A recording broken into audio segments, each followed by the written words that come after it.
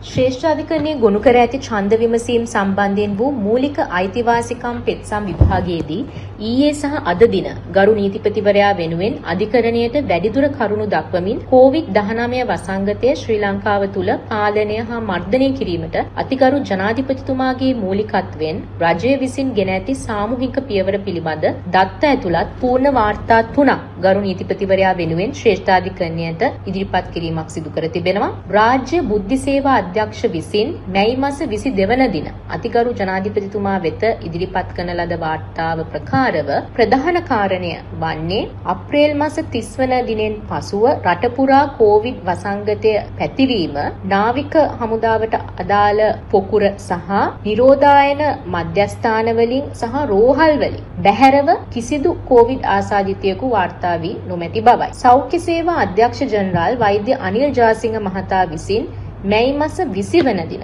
ජනාධිපති ලේකම්වරයා වෙත යොමු කරන ලද ලිපිය සම්බන්ධයෙන් කරුණු ශ්‍රේෂ්ඨාධිකරණයට ඉදිරිපත් කිරීමක් සිදු කර තිබෙනවා. එම කරුණු ප්‍රකාරව මෙම COVID-19 වසංගත රෝගී තත්ත්වය ශ්‍රී ලංකාව තුළ සාර්ථකව පාලනය කර ඇති බවත් දැනට පවතින තත්ත්වය අනුව ආසාදිතයින් ගණන සහ මරණ සංඛ්‍යාව අවම සංඛ්‍යාවක පවතින බවත් ඒ අනුව සෞඛ්‍ය වෛද්‍ය නිර්දේශයන් හා සමාජ දුරස්ථභාවය රැකගනිමින් ඡන්දය පැවැත්වීමට අදාළ අදාළ මාර්ගෝපදේශයන් ලබා දිය හැකි බවත් ඡන්දය පැවැත්වීමට අදාළ ඉදිරි ක්‍රියාවලිය සිදු කිරීමට කිසිදු බාධාවක් නොමැති බවට එම ලිපියෙන් වැඩිදුරටත් සඳහන් කර තිබෙනවා. සෞඛ්‍ය සේවා අමාත්‍යාංශයේ වසංගත රෝග ඒකකය විසින් ජනවාරි මාස 29 වන දින සිට මැයි මාස 26 වන දින දක්වා ශ්‍රී ලංකාවේ කොවිඩ් වසංගතය පාලනය සම්බන්ධයෙන් වූ සියලුම තත්ත්ව වාර්තාවන් ශ්‍රේෂ්ඨාධිකරණයට ගරු නීතිපතිවරයා වෙනුවෙන් කරුණු දැක්වීමේදී ලබා දීමක් සිදු කර තිබෙනවා. ඉහත සඳහන් කරන ලද සියලුම වාර්තාවලින්